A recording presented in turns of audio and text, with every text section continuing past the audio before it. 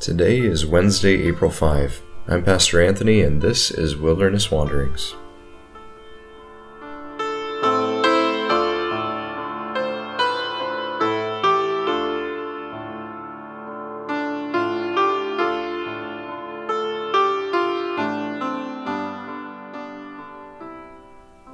Today, our text comes from Deuteronomy chapter 6. Shema Yisrael. Adonai Eloheinu, Adonai Echad. Ve'ahavta et Adonai Elohecha, bekol levavka, uvekol nafsheka, uvekol meodeka. Hear, O Israel, the Lord our God, the Lord is one. Love the Lord your God with all your heart, and with all your soul, and with all your strength. It's Deuteronomy chapter 6 verses 4 and 5 in Hebrew and in English. This text is known as the Shema. It is so named for its first word in Hebrew, which is Shema, the Hebrew word for listening and obeying. Jews of later years would recite these words twice every day, once in the morning and then again in the evening, likely a practice Jesus himself grew up with. You'll also recognize these words, of course, as that first and greatest commandment that Jesus gives in the New Testament. How can he name the Shema as the as greater than any of the Ten Commandment words we just looked at, you may wonder? Well, it's because in some way this command to love the Lord firstly, only, and completely is the inverse positive version of the you shall nots that began the ten words of the covenant in chapter 5. The ten words, aside from the command to observe the Sabbath and honor parents, are all negative commands, prohibitions that tell us what not to do. Once our life and heart have been swept clean in this way, however, it's important that something positive and constructive comes in. The Shema is just that sort of command in the ever growing absence of covetousness and idols from your heart and life, a positive love for the Lord your God is to take up residence instead. Indeed, if Jesus is to be taken seriously, this positive love for the Lord may in fact be that thing that drives the lusts and the idols from our hearts. The positive force of love for the God who has first loved us is the power that enables us to keep faith with the ten words of this relational covenant. It really is fascinating what Jesus does here by naming the Shema as the first and greatest of the commands.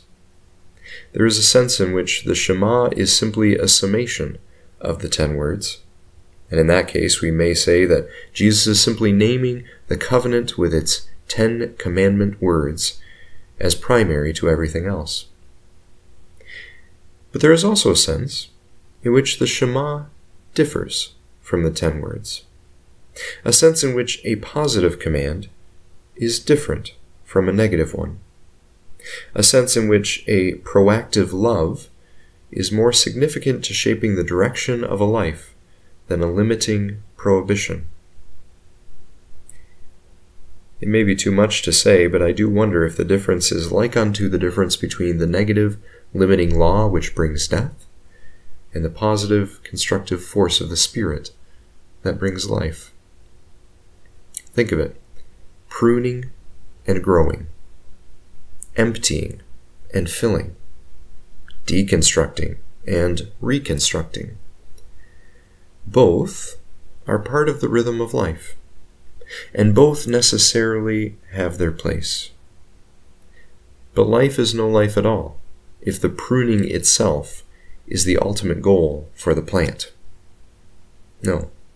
The pruning, the cutting back, the emptying, the prohibitions always serve a goal other than themselves, namely the goals of life, of growth, of filling, and of flourishing relationships. So the emphasis does not finally fall on the limiting prohibitions of the law, but on the gracious growth enabled by the Spirit. both the pruning prohibitions and the imperatives to growth have their place. But Jesus places the emphasis finally on that growth imperative of love, the Shema. At times we pit these two impulses against each other, though, as if one must win out at the total exclusion of the other. Many of our present church conflicts and culture wars revolve around such impulses and false dichotomies. But the scripture always holds these two in a dialectic tension. The two impulses have to remain in dialogue with each other, as they do in Deuteronomy 5 and 6. Neither can be flattened nor excluded. And yet, Jesus reminds us that one impulse is to be the leading partner in the dance, the impulse to whom the other defers. He says it this way Love the Lord your God with all your heart, with all your soul, and with all your strength. This is the first and greatest commandment.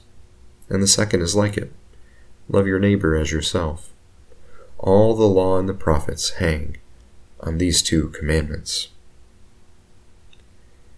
As you journey on, seeking to fill your life with love for God and then also your neighbor, remember that you do not go it alone, nor do you initiate this act of love. You go with the love and the blessing given and established by God.